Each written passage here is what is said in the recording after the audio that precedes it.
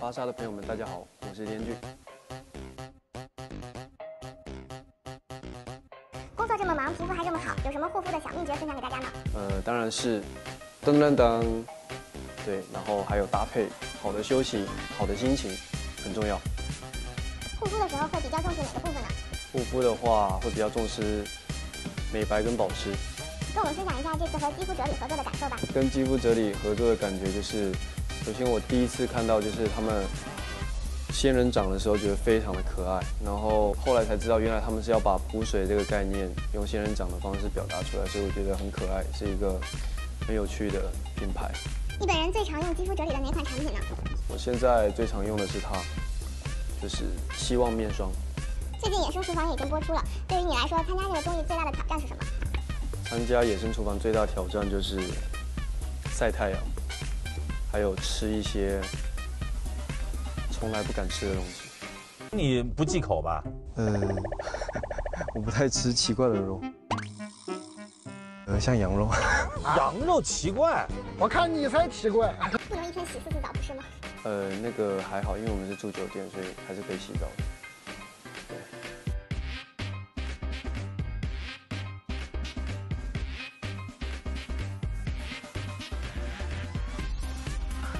你觉得衡量一个男生够不够 man 的标准是什么？衡量一个男生够不够 man 的标准是敢玩这种游戏。如果可以让你瞬间变白，但代价是要让人把你的小白鞋全踩一遍，你会选择变白还是守护小白鞋？我选择守护小白鞋，最想尝试哪种发色？最想尝试呃浅一点的发色。每天洗完脸后的护肤步骤是什么？每天洗完脸的护肤步骤就是擦希望面霜。才会让你更新微博的频率提高一些？呃，我不是不更新，我只是觉得没有好的东西跟大家分享的话，就等到好的东西再跟大家分享而已。最喜欢听粉丝夸你什么？夸我什么？他们夸我都蛮喜欢听的。你觉得自己是高冷傲娇还是慢热闷骚的人？呃，应该是后者，那你跟一个陌生人熟悉起来需要多久？看缘分。在野生厨房里新 get 的技能是什么？在野生厨房新 get，我是不是太慢了，对不对？在野生厨房新 get 的技能是是是是生生火。在节目里是第一次骑大轮车吗？哦，对，感觉怎么样？因为他他好像没反应。呃，感觉还蛮开心的。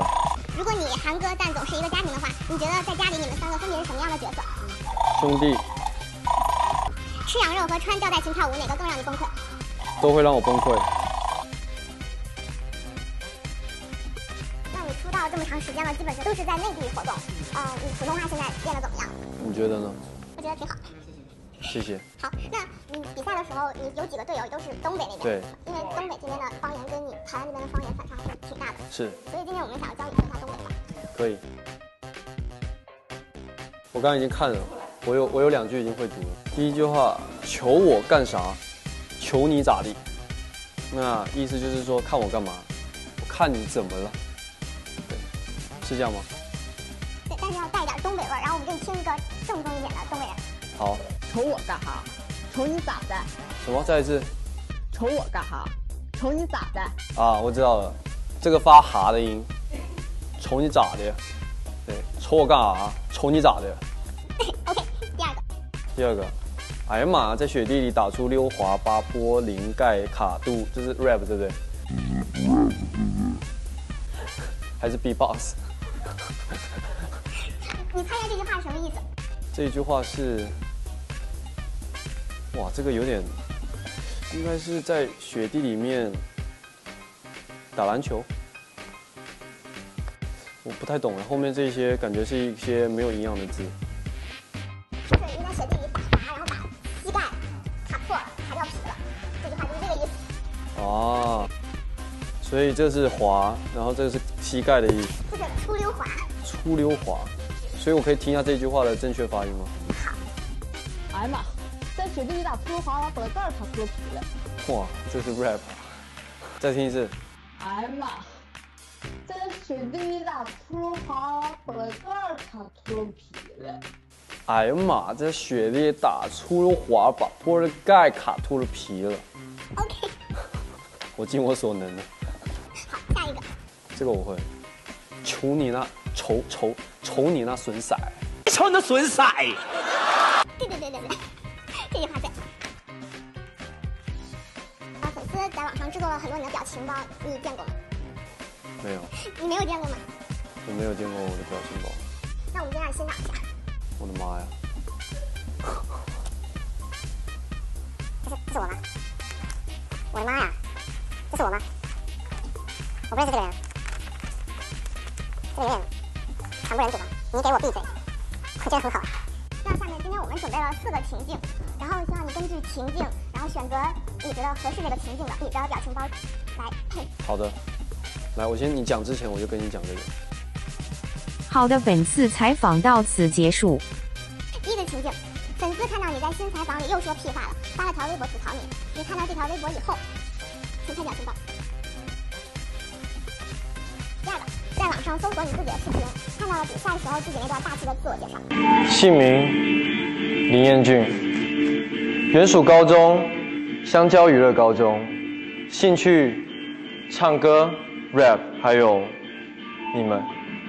你内心的想法是？为什么只用这一个？这很好啊，很符合我的表情。第三个，在野外烧水，韩哥说你开着盖子当然煮不开啊，傻小子的时候，你的内心是。你开着盖子当然煮不开了，傻小子啊。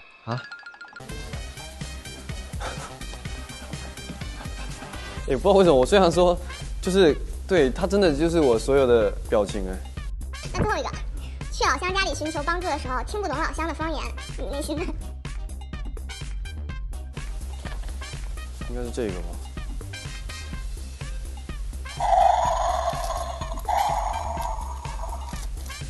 他有点迟钝哦，所以我不应该，哦，不应该，哦，sorry，这个有拍下来吗？要剪掉，谢谢。瞅你那损色。